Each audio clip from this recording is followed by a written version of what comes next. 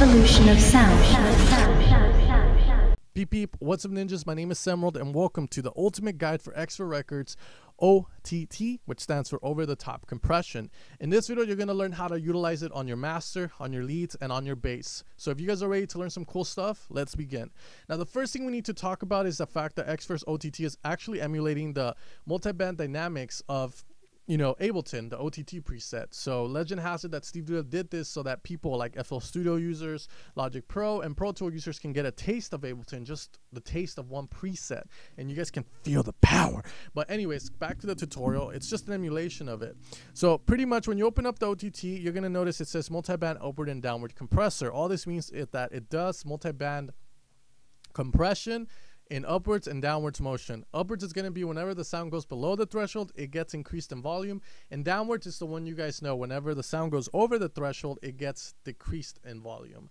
Now, pretty much the depth is going to be our dry and wet here. So if we have the OTT on, 0% depth, does nothing and 100% is fully wet. So it's going to be fully applied you can see it literally just compressed the crap out of our signal there. Now the time has to do with the attack and release. As you can see here, we have um, time settings for our attack and release. I personally always leave it at 100%. I find that it's the best place to have it. And when you have a thousand, you know, because it does go up to a thousand, it doesn't really change much of it. So leave it at 100%. That's my tip for you. But if you want to dabble with it, totally up to you. Now the in gain and the out gain have to do with the inputs as you can see here for the OTT. You're gonna have an input increase of 5.63, 5.20, and 5.20 by default on the OTT preset of Ableton. The out gain is at 0.0 dB and the input gain in OTT is at 0.0 dB. In the OTT of Ableton, you're going to have the output increase to 10.3, 5.70, and 10.3. Now, personally, I don't know if Steve Duda already has it set that way at 0 dB here, but pretty much with the in-gain and out-gain, you control how much of the signal goes in. So pretty much if we do that right now, you can see it kind of wants to get loud, but it doesn't because of the downward compression on it. And if we do the out-gain, that's after it's been compressed, when it's coming out, you can increase the volume more if you want. All right, so hopefully, you know, I put a compressor on this because that was pretty loud. So now let's go back to the original settings of the OTT. Now, the OTT is going to be good for, again, compressing leads, bass, and master, and I'll show you now.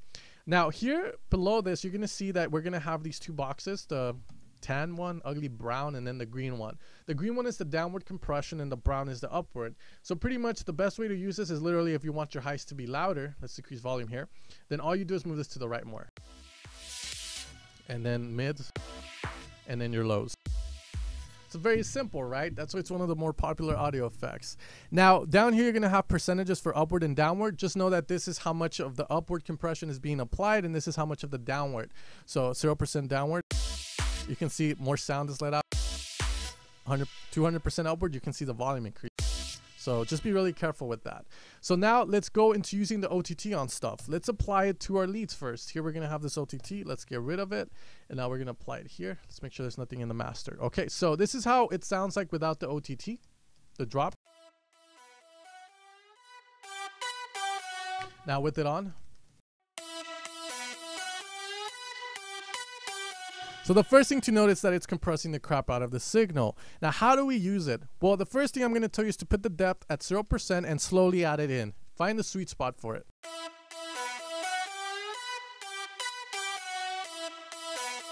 And I think it's going to be around 33, 35%. Now the next thing is to let out the highs or the mids that you feel is necessary for your sound. So I like the highs a bit on this. Around there and then the mids. And then the lows we can reduce because again, we don't want any low frequencies on the lead because the bass is there for that. So there we have it. Now let's play it with the song with it on and off. That's off and now on.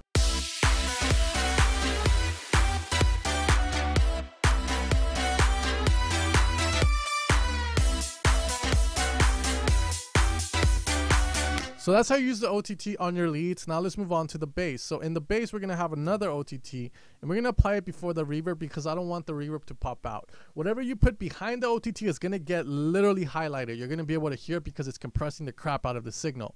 Now with the OTT, the bass sounds like this. With it off, so you can see what it's going to do. So now again, same exact thing.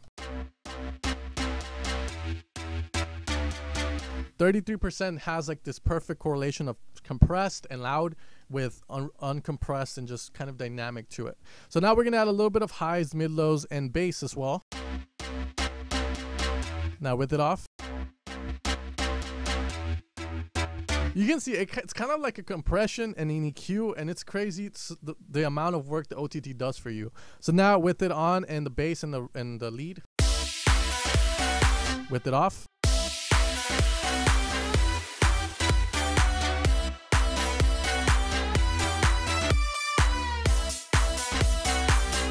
You can see it adds so much. And now let's finally teach you how to use it on the master. So let's get rid of the OTT from Ableton.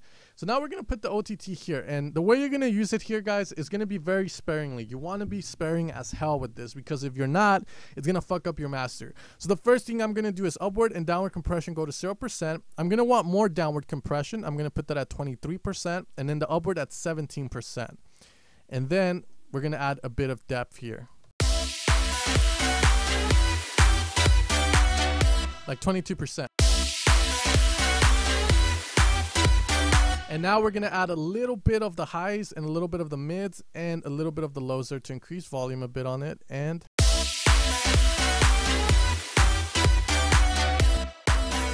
so off and on.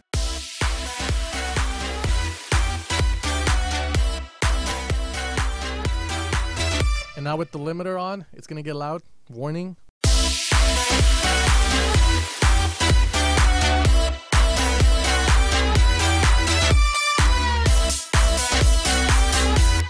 And as you can see, it works great for what it did. So I hope this video helped you guys out. If it did, make sure to leave a like, leave a comment below, subscribe.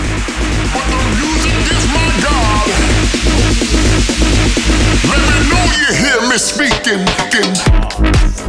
speaking.